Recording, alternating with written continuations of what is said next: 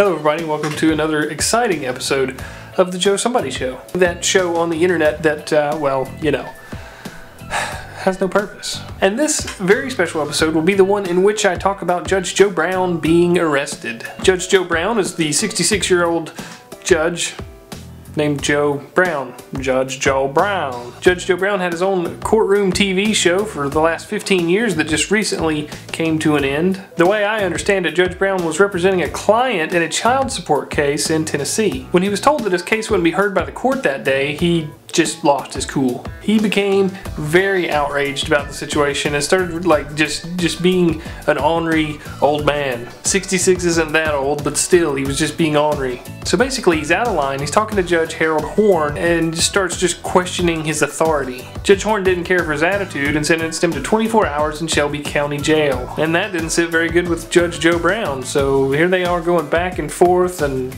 just, I don't know, he's just rattling, just doing this right here. So basically, after everything Judge Joe Brown said, they would tack on another day to a sentence. But I'm Judge Joe Brown. That's another day. I don't want to go to jail. Another day for that too. This is a circus. It is. It's kind of a circus. Another another day for that. But another day for that too. I pretty much grew up watching Judge Joe Brown and Judge Judy and divorce courts and all kinds of stupid daytime court television. And to be honest, I'm kind of shocked with the way Judge Joe Brown was acting. I mean, it's like he doesn't respect the court system for which he's been a part of for so long. Judge Joe Brown is running for the Shelby County District Attorney, and some people are saying he might have done this for publicity. And I don't know if that makes those people stupid or me stupid for not understanding how you would do something like this for publicity and that be a good thing. I mean, if you're running for district attorney, then you don't want to get a reputation for being a grumpy, non-understanding old man. And it's definitely not going to help your case.